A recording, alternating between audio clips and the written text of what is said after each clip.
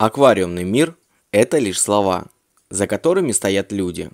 Люди, которые занимаются производством аквариумного оборудования, поставкой грунтов и коряк, консультацией, продажей. Многим из аквариумистов не так важны эти детали.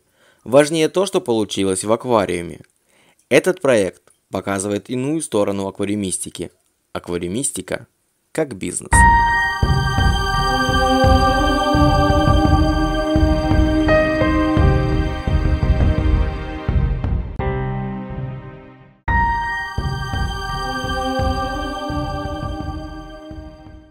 Здравствуй, Григорий. Привет. Я очень рад, то, что ты дал добро а, ответить на вопросы по бизнесу аквариумному. А, И первый вопрос, который я бы хотел задать. Откуда взялась вообще такая идея создать свой аквариумный магазин? А, Изначально не было никаких желаний бизнес заводить. Ну, то есть не было посыла заработать денег, потому что я сразу понимал, что это не очень прибыльная история.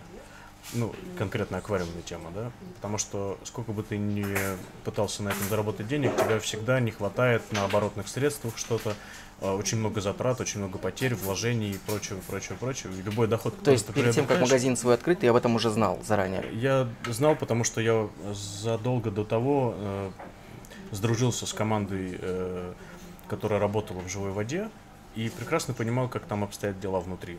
Ну, то есть я понимал, э, общался с продавцами, с консультантами, э, сдружился с ними, да, и в разговорах, как бы в частных беседах, э, люди, которые там работают, ну, работали, они делились какими-то наблюдениями, и я понимал, что это, ну, это не то же самое, что, например, продавать сигареты, алкоголь, там, не знаю, или э, какие-то другие виды э, бизнеса, которые, ну, Постоянный спрос. Да, то есть, ну, это не продуктовый магазин, который И постоянно... еще узкая. Не аптека, да, то есть это что-то такое, где довольно малый круг людей, это хобби, это узкая какая-то ниша, которая занята там, ну, может быть, 5% населения страны, если в лучшем случае. И из этих 5% только 2% или 1 могут себе позволить прийти в магазин, что-то выбрать регулярно.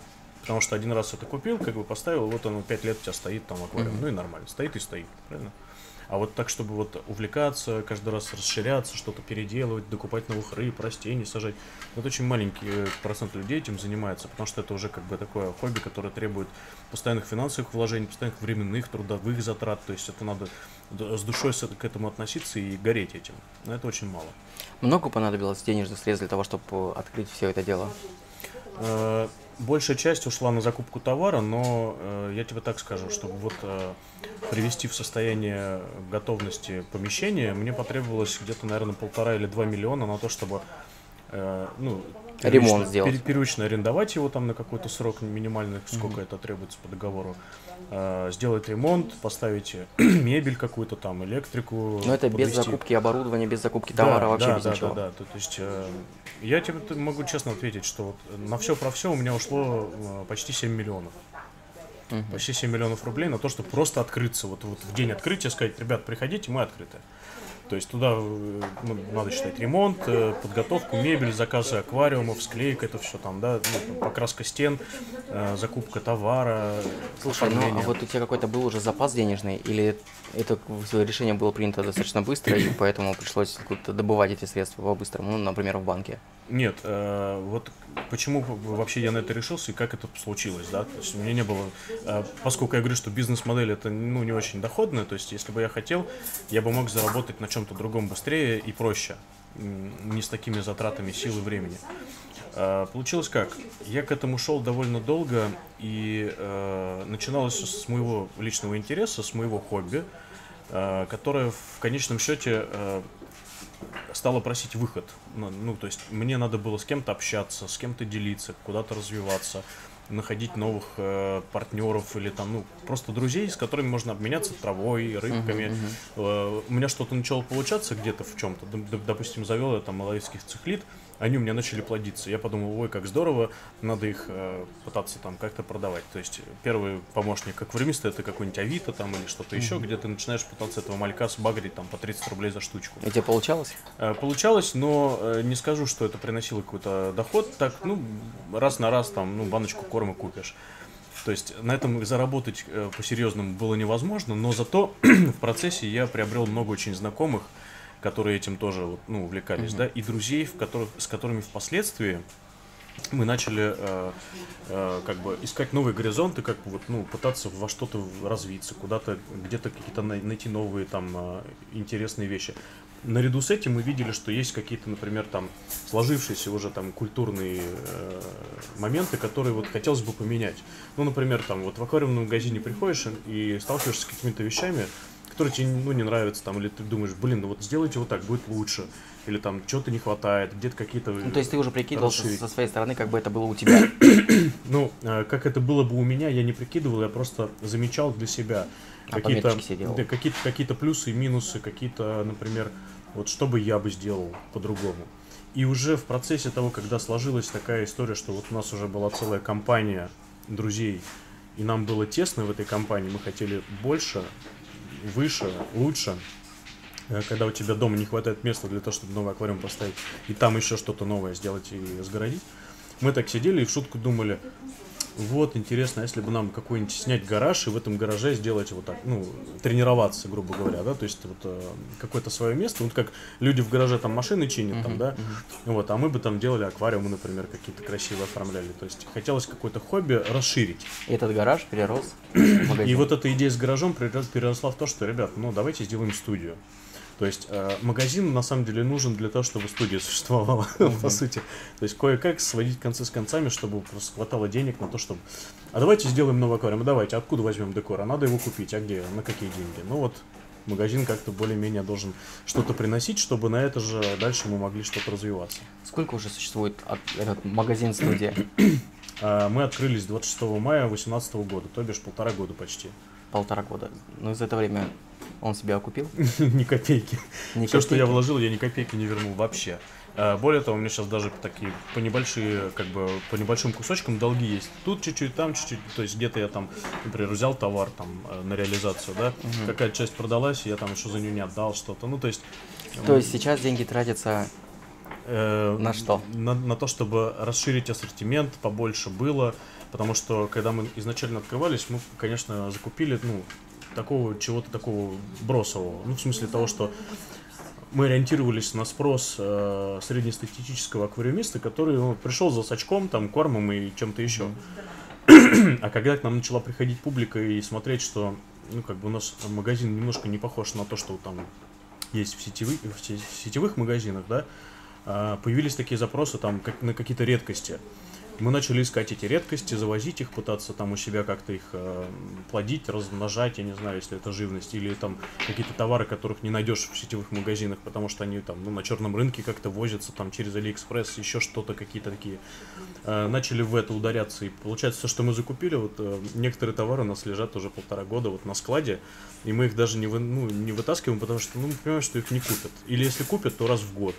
Э, какие-то тетровские сачки, например, какие-нибудь огромные вот такой, там, 3XL размера, которые, ну, не нужны никому. Ну, никто карпов кoi не будет в пруду ловить. Ну, это получается первый поток, куда уходят финансы, финансовые средства, которые Да. здесь получают. Все, что мы более-менее зарабатываем, мы пускаем обратно в оборот, закупая что-то новое, расширяя постоянно коллекцию. У вас тут, я видел, ря- ря- рядышком с магазином находится э, налоговая служба. Да? Не видел? Я знаю, да, Федеральная налоговая служба, но она, к счастью, занимается иностранными Не- не- резидентами. Ага, вот это. То есть не по нашему. Как с ними обстоят дела? С кем? Государство вообще много забирает? С налогами. А, я расскажу. Значит, вот у нас ИП. Э, есть... На тебя оформлены, да, правильно? Да, да, да, ИП оформлен на меня. А, Есть вообще, ну, для тех, кто не знаком с этой темой, да, я там в двух словах могу рассказать, как бы, чтобы люди понимали вообще. У кого-то сейчас посмотрит, думает мысль, блин, а я тоже открою. Вот чтобы знали наперед. А, Есть э, несколько форм налогообложения. Общая и упрощенная система. Это вот как бы простые разделения. В упрощенной системе есть три, под, ну, как бы, три подвида упрощенной системы. А, УСН, упрощенная система налогообложения, доходы, доходы минус расходы, или ЕНВД. вот ЕНВД это единый вмененный налог на добавленную, ну, на, на, на деятельность, то есть э, как это действует. Ты открываешь кафе и говоришь, я хочу ЕНВД. Приходишь в налоговую службу, и тебе говорят, ну, ваше кафе находится в городе Москве, в таком-то вот, допустим, районе. Мы берем из этого же района, из этого же города Москвы, там, 10 других заведений с такой же спецификой, допустим, такие же кафе, а, и смотрим э, среднюю температуру по больнице. Вот эти 10 кафе в совокупности, вот если там сложить и разделить на 10, э, получается там какой-то там доход, например, там 500 тысяч рублей в месяц. Вот исходя из этого общего дохода на эти 10 кафе, вам вменяется налог э, на 500 тысяч рублей в месяц. Ну, например, Мгм. да, вот с этого дохода там какой-то процент. Э, Это удобно, когда твоя сфера популярная, когда у тебя автомастерская, которых сотни или миллионы, там, или газозаправочная станция. Но тогда, когда у тебя, например, русская какая-то ниша, и с чем сравнивать непонятно, ну, то есть это не зоомагазин, это что-то такое вот непонятное. Вот Проще сейчас это как раз этот вариант. Да, да, да, да. Аквариумистика. Да, э, поэтому я выбрал просто доходы. Причем не доходы минус расходы, а именно доходы. Это означает, что я должен платить 6% э, налога со всей э, прибыли по, касс- по кассе в месяц. Но есть оговорка. Эти 6% действуют только до суммы 300 тысяч в месяц. Если 300 тысяч в месяц ты превысил, Выручку. да, все, что свыше 300 тысяч по кассе прошло, ты платишь еще плюс 1% с этих, э, того, что ты э, свыше 300 тысяч. Заходите за, это, за этот рубеж? Да, мы заходим за 300 тысяч, но я тебе так скажу, у меня э, э, затратная часть в месяц от 300 до 350. То есть Все, что выручили, все, что минус выручили, налоговая, минус налоговая, минус э, свои еще остальное. заложил, что было опять 300 350 Да, я из зарплаты очень часто из своей достаю. Я же музыкант, и у меня э, есть зарплата официальная государственная. Я работаю в государственном хоре на радио, так что и вообще бюджетник получается. То есть я из своей зарплаты очень часто закупаю каких-нибудь мороженых крыс, там, сверчка, еще что-нибудь. Ну, потому что когда вот надо вот здесь и сейчас заплатить, а денег нет, бегу и зарплату Это достаю. получается у нас второй поток. Третий. Сотрудники получают зарплату. Конечно. Это зарплата, которую они получают, она же входит в эти 300 тысяч. Ну, Да, да, да, да. то есть это получается... То есть еще- это аренда, зарплата, коммуналка. А налог я сюда не считаю. 300 тысяч это просто вот на аренду, зарплату. Что же там тогда остается, я не Ничего понимаю. не честно. остается. Я же тебе говорю, я в Ты, долгах. ты тратишь еще по 300 тысяч из Э, кармана достаешь. Нет, ну, а, временами бывает так, что какие-то удачные месяцы, какие-то не очень. Ну, допустим, летом не сезон. Поэтому все лето мы работаем на накоп- накопленном жире, скопленных каких-то крохах за Весь там, год. За весь год, ну, за какой-то там э, осень и зиму, Мгм. да. Но тем не менее, все равно, приходя к, к, к новому сезону, мы начинаем с нуля вот э, кое-как пролезать. Вот здесь надо закупить вот это, вот это, вот это. Очень много расходников. Ну, у нас же еще терроримистика, да. Поэтому это постоянно корма, это постоянно какие-то мелкие там витамины, кальций, какая-то вот такая штука. Лампочки, которые ультрафиолетовых надо менять часто. И вот эти расходники, они постоянно нужны. И ты вынужден постоянно их закупать. А закупать их иногда приходится уже в долг, потому что вот ты Под реализацию, да? да, да, да, потому что вот там, например, за лето тебе надо там, хочешь, не хочешь, выложил там зарплату и аренду, а доходы были меньше, чем э, расходы. Мгм. И вот пока ты там из этих долгов вылезешь, накопишь немножко жира, к следующему лету опять такая же фигня. Кто у вас занимается всеми этими бумажными делами, Я. бухгалтерией? Я? Ты этому где-то учился или Нет. То есть ты тебе зашел в налоговую, тебе У сказали, меня что нет нужно вот это считать, вот это, вот ни это. экономического образования, ни какого-то там юридического образования. То есть я Ну. просто тупо сел и прочитал, что надо. Что надо. И сам Да. начал, взял калькулятор в руки и пошел считать. Да. Причем где-то я ошибался поначалу, где-то у меня были какие-то промахи, что-то я делал э, впустую. Но сейчас я уже более-менее понимаю, что ага, э, чтобы, ну, как бы выстраивается какая-то экономика, у меня в голове понимание, как это все существует, какие сроки имеет, да, как лучше распределить ресурсы так, чтобы хватило по чуть-чуть, э, но везде.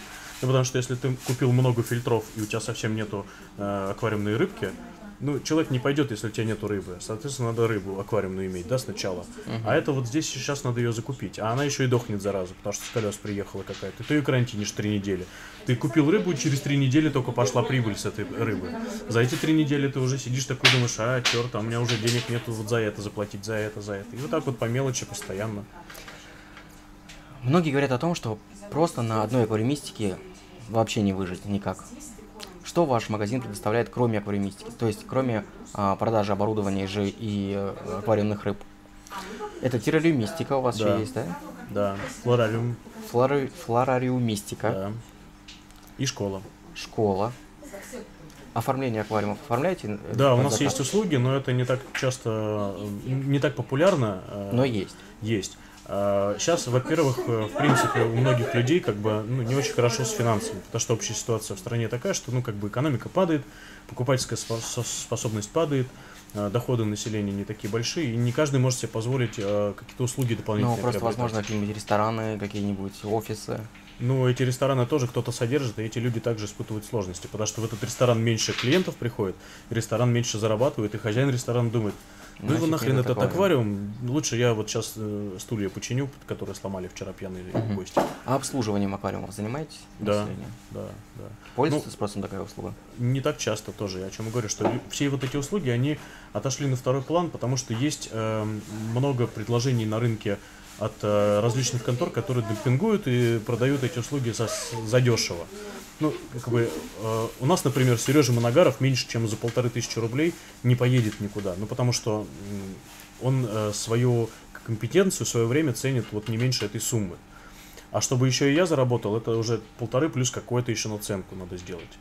И сюда закладывается и налог, и вся остальная фигня. И в итоге получается там две-две с То половиной. есть вы чек человеку потом выдаете? Естественно, за все услуги, да. Но просто а, мы предлагаем, например, цену ту, которая а, может отличаться там сильно дороже, чем а, какие-то интернет а, там конторы, которые там ну занимаются обслуживанием там за 500 рублей. Ну, то есть, получается, все ваши услуги, которые вы представляете, это вообще маленькая-маленькая Очень-очень часть от всего, от всего дохода. Да, да. А если так по магазину пробежаться, что больше всего в магазине приносит доход? Больше всего в магазине приносят доход живые растения, э, кормовые э, насекомые, кормовые объекты, там всякие мышки и вот это прочее, и декор. То есть И э, декор. основную часть составляют это вот камни, коряги, пески, там э, подложки, сойлы, э, всякая химия, аквариумные препараты, там А если вот у вас есть два направления, еще аквариумистика, террариумистика, Мгм. что из них больше пользуется спросом? Ты знаешь, э, сложно сказать, потому что если судить по объему продаж, то, наверное, террористика даже больше. Но если смотреть на ценовую, как бы вот, ну, э, скажем, не на ценовую в смысле, а на объем э, денег, который приносит, Мгм. то аквариумистика больше. Потому что, ну, например, э, сверчков у нас продается за неделю там 20-30 тысяч сверчков по кассе. Мгм. Казалось бы, куча продажи. Но они копеечные. А Если не ошибаюсь, более по 20, да? 2 или 3 рубля, в А, зависимости от рубля. размера, да. То есть тысяча сверчков это 2000 рублей. Но если мы берем, например, такой же объем продажи, э, вот там тысяча сверчков, это много. Это там, да, Мгм. как бы вот. И места э, много занимает, соответственно, в магазине. Выражении, да, в физическом выражении это ощутимо много. Вот. А, например, там, продав три меристемных растения, ты зарабатываешь ту же самую сумму, но это три маленькие баночки. Ну, то есть, э, Ну да, да, продукты разные, поэтому террористика, она у нас активная, но там в основном по мелочи, расходники, вот как бы такое что-то. У вас в магазине есть стойка аквариумная, где Да. продаются именно аквариумные рыбки. Да. Ты когда-нибудь просчитывал, окупается она, эта стойка? Если брать, взять все, то, что рыбу надо содержать, что там есть свет, что ее нужно кормить, плюс мор, если все эти вещи сложить и посмотреть, окупится она или не окупится. Не проверял так Скорее да? всего, нет, не окупается. Я не проверял, но я приблизительно могу понимать, сколько у меня идет э, затрат на, на, на все это. И чтобы она окупалась, эта стойка, вообще любая стойка, чтобы окупалась, ее нужно было бы делать раза в два, в три больше. То есть э, это как бы есть такое экономическое понятие, как некий порог окупаемости, да, вот когда ты, например, э, предоставляешь какую-то услугу, которая занимает у тебя там оп- определенное количество времени и сил, если эта услуга не на потоке, то есть если ты не завод и не производишь тысячами, то ок- окупаемости не, не достигнешь никогда. То же самое здесь. А, Туда рыбу не засадишь больше, чем там по 40 по 50 штук в каждый аквариум. Этих аквариумов там всего там штук 15.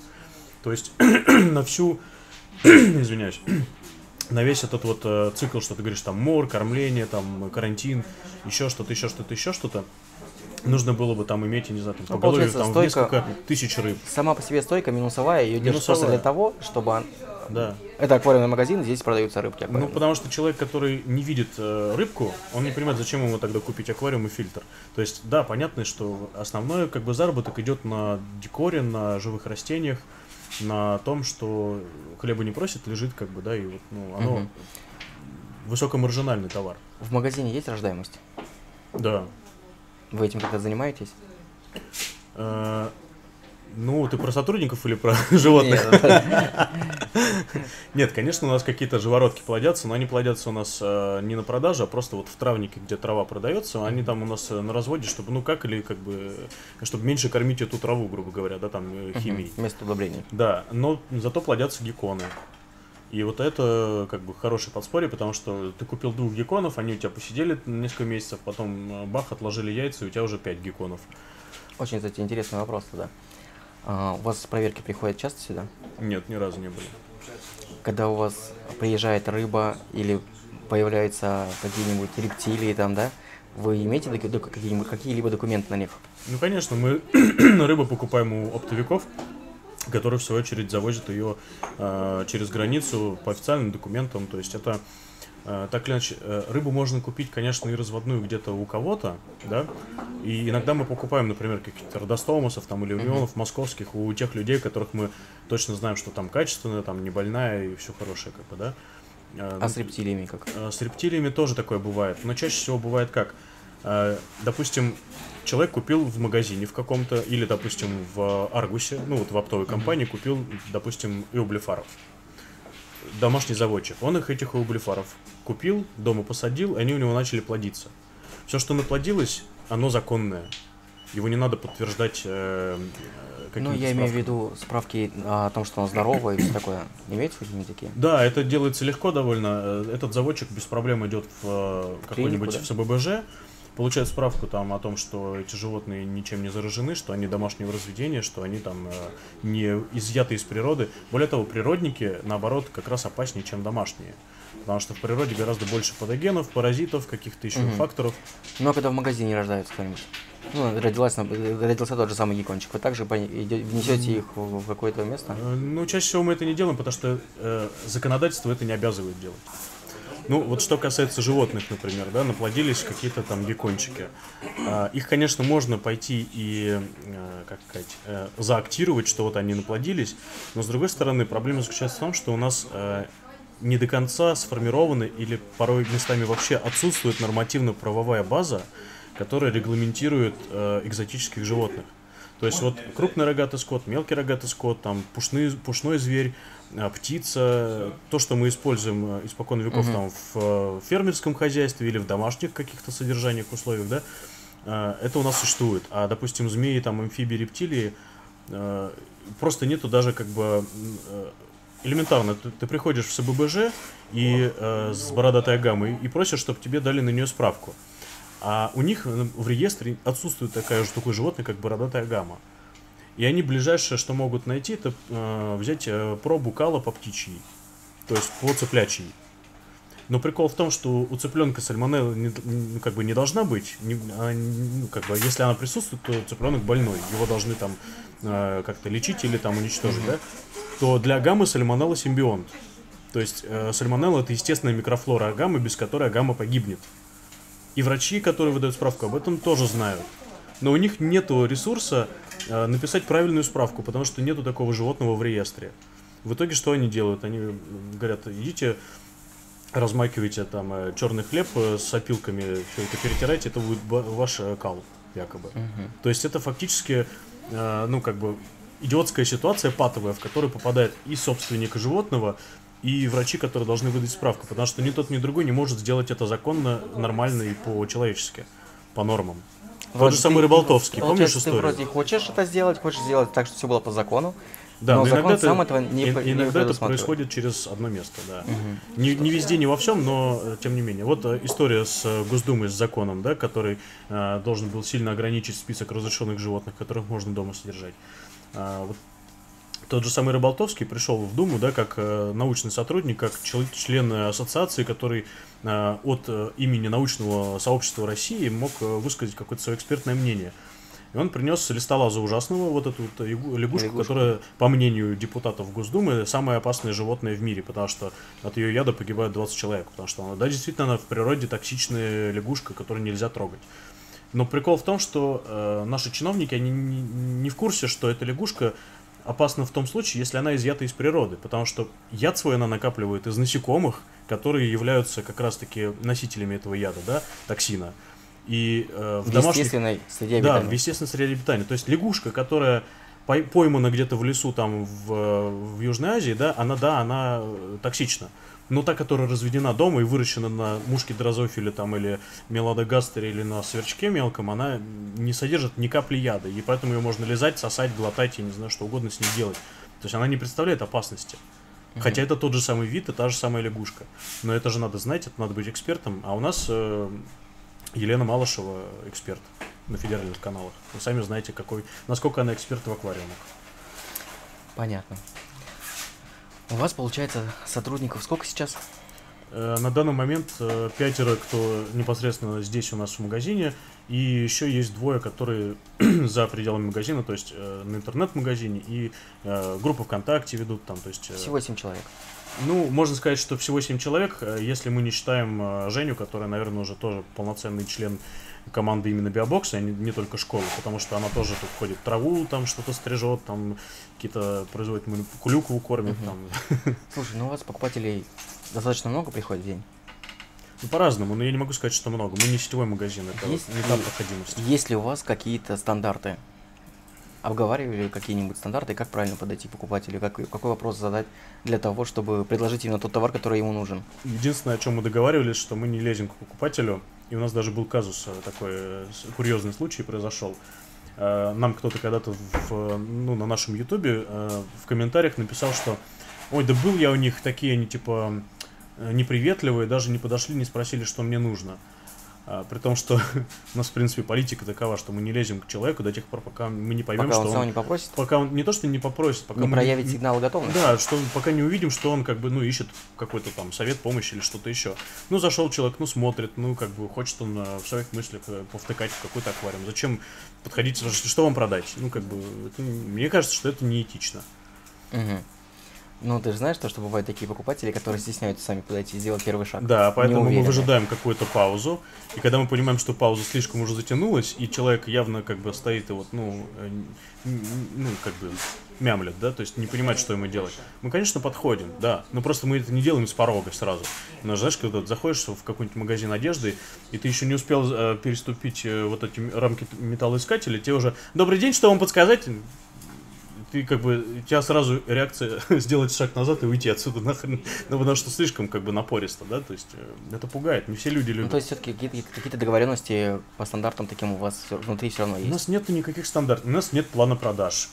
Я не, не штрафую за то, что ты там пошел три раза больше покурил, чем надо. Э, У меня нету никаких... э, То есть между сотрудниками и тобой ИП, который все заплатил здесь, что было, Да. у вас какие-то есть просто дружеские отношения. Ну да, скорее так. Не, я иногда, конечно, прихожу и начинаю носом воротить. А что вы тут вот э, пол не подмели там или, не знаю, там воду не подменили? На что мне могут э, выдвинуть кон- контраргументы и как бы доказать, что ну это было сейчас не надо, поэтому мы и не сделали. И, ну и окей, значит, если да, то да. И, ну, как бы, не бывает такого, что я прихожу с проверкой и начинаю там э, проводить ревизию, а потом, так, вот ты оштрафована, тебя там уволили, это нет, такого не было и не будет. Гриш, ну если смотреть глобально вообще на всю аквариумистику в России, как думаешь, кто себя лучше сейчас чу- чувствует? Производители аквариумного товара или продавцы? Ты знаешь, э, не те и не другие, потому что, к сожалению, вот этот тандем повязан.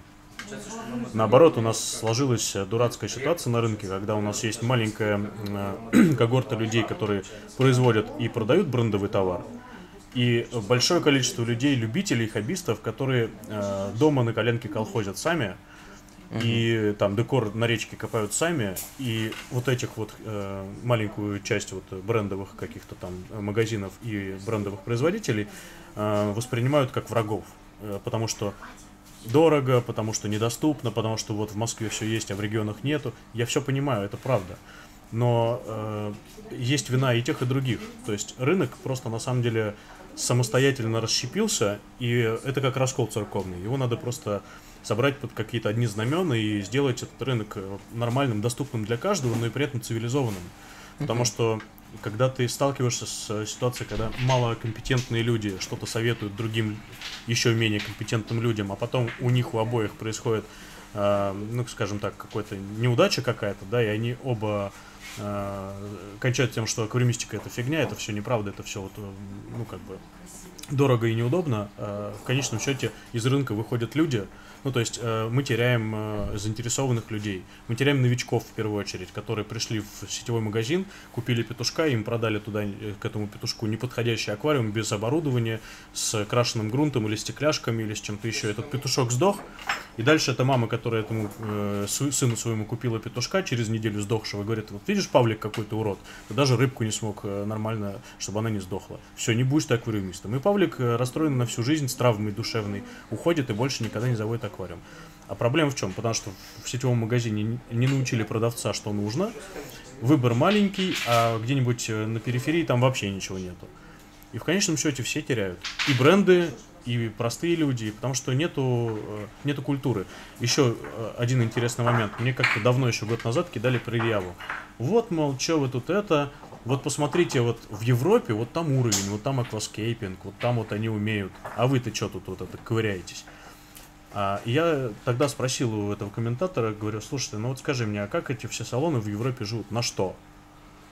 Да, они делают уровень, они показывают крутые работы, у них там дорогие э, материалы, дорогое оборудование. На что они живут? Потому что люди, которые этим интересуются, приходят и платят за это. Тогда они могут эту культуру развивать. А когда ты не имеешь возможности поставить хорошее оборудование, красивый декор, из чего ты культуру будешь делать? И как у нас говорят, из, из говна и палок, ничего он не ответил. А что он мне ответит? Не, ну у нас вот, помнишь, был проект Бзда. Очень интересный проект, он, очень правильный, очень показательный, очень нужный. И на самом деле даже более того, мы сами тоже считаем, что можно делать дешево. Можно.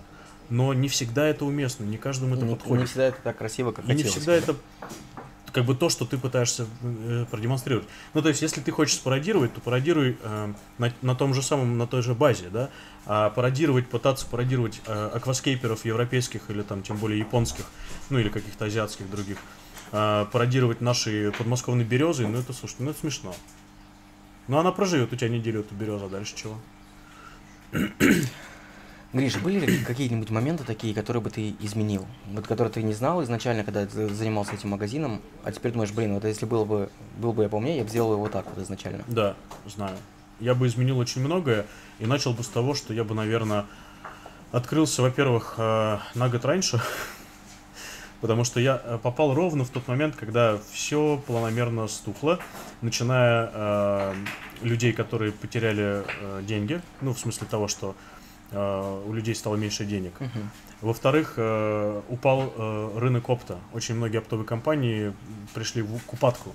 И даже те, которые остались на плаву и не обанкротились, э, потеряли очень большое количество ассортимента. И мы даже до сих пор сейчас видим отсутствие нормальной э, плотности присутствия на рынке. JBL, Dennerle, Сера ушла с рынка, да. А, То есть некоторые бренды теряют э, и пропадают. И почему? Потому что на фоне вот этого спада экономического и всего прочего э, покупательская способность падает, и, естественно, это уже невозможно такими объемами завозить. И тут все получается как бы друг за друга э, тащит. То есть опт умер, за ним умирала розница и так далее и тому подобное. Но плюс ко всему, я бы все-таки еще изменил э, конкретно в своем магазине, что я бы не стал закупать так много э, бросового товара, которого, как- ну, к- к- который есть везде, и сразу бы включился на какую-то узкую нишу того, что не найдешь. Для То есть какой-то специалитет, какие-то редкости.